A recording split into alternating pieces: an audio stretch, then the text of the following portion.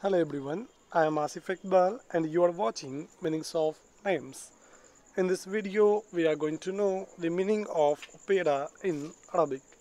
The meaning of opera in Arabic is Al Obera. Al Obera. In Arabic, we say Al Obera. Thanks for watching my video and don't forget to subscribe my channel for watching more videos.